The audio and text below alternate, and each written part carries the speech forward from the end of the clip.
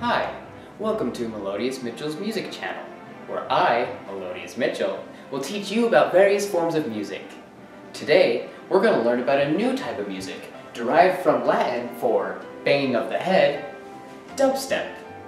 For this lesson, you will need a blender, a microphone, a keyboard, a frisbee, duct tape,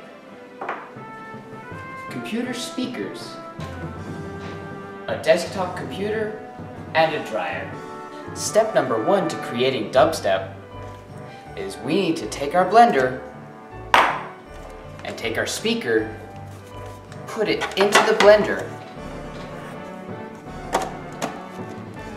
and let it sit for three to five hours on the highest setting. Let's begin. While the blender's going, let's set up the keyboard. I'm gonna take some duct tape and tape down the key that I want to be played in the final product. Let's choose high D or whatever this note is. Awesome! Make sure all levels set to max. Make sure you turn your microphone from the off position to the on position. That means it will record things.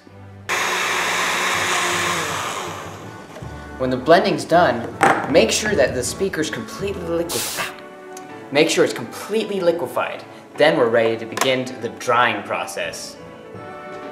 Now, we'll take the three items, the keyboard, the speaker juice, and the microphone, and place all of them into the washer. And place all three items into the dryer. Now, we can begin the drying process.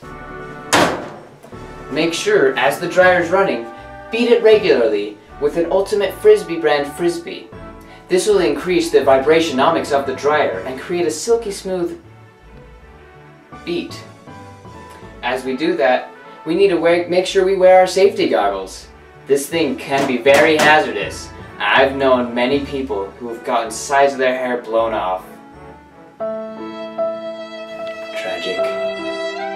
Let's begin.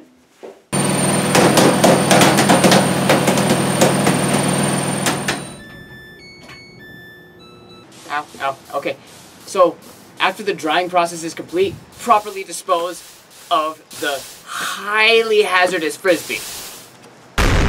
Let's upload our music into our computer device. Once you've uploaded the music from your microphone, import it onto some sort of mu music making software. I'm using Adobe Audition. And now we can listen to our product. Neat. Repeat this process many times, taping down different notes, using different keyboards and dryers. And after many days of blood, sweat, tears, communities, frisbees, you'll be able to make beautiful music just like this.